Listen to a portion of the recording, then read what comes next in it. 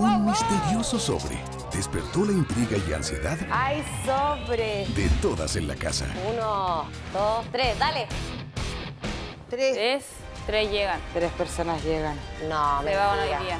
Mentira. Mientras buscaban respuestas, ¿Qué es tres? Tres personas son las finalistas. tú lo sabes primero.